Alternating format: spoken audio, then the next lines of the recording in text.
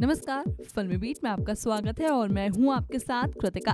कलंक फ़िल्म 17 अप्रैल, यानी कि आज रिलीज़ होने जा रही है। करण जौहर की मल्टी स्टारर फ़िल्म का दर्शकों को बेसब्री से इंतज़ार था। फ़िल्म रिलीज़ से पहले इसकी ज़बरदस्त स्क्रीनिंग हुई, जिसमें आलिया भट्ट, वरुण धवन, सोनाक्षी सिन्हा, आदित्य रॉय कपूर, माधुरी दीक्षित, करण जौहर और अमिताभ बच्चन की बेटी, करण जौहर की दोस्त श्वेता बच्चन भी पहुँची।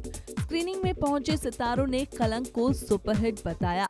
नूर, आलिया भट्ट और ज़फ़र वरुण धवन की प्रेम कहानी पर आधारित है कलंक, जो कि एक पीरियड ड्रामा फ़िल्म है। कलंक का डायरेक्शन अभिषेक वर्मन ने किया है। फ़िल्म के डायलॉग और लोकेशंस आपको पसंद आएँगे। कलंक में स्वतंत्रता से पहले एक संयुक्त परिवार की कहानी को दिखाया गया है, जिसके अंदर कई राज दफन है। फ़िल्म की कहानी रूप और ज़फ़र के इश्क तले घूमती है, लेकिन उनकी ये मोहब्बत हिंदू, मुस्लिम दीवार तले दफन होकर रह जाती है। इसी बीच रूप देव चौधरी यानी कि आदित्य रॉय कपूर से शादी करने का फैसला लेती है। देव पहले से ही शादीशुदा होते हैं। लव ट्रायंगल प्रेम कहानी तले बनी फ़िल्म कलंक ने हिंदू, मुस्लिम प्रेम और विवाद के दर्द, इर्द गिर्द घूमते दिखाई देंगे।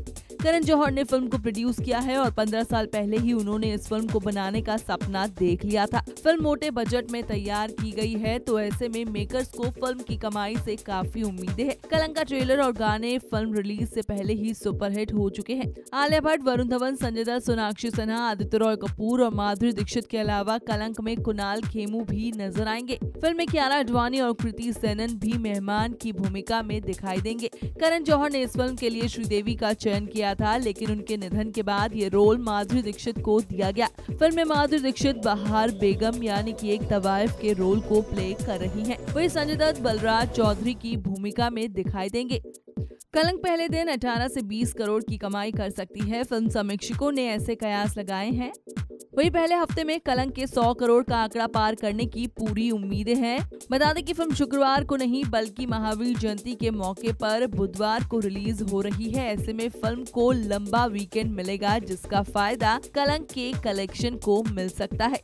इस वीडियो में इतना ही, लेकिन आप हमारे चैनल को सब्सक्राइब करना न भूलिएगा।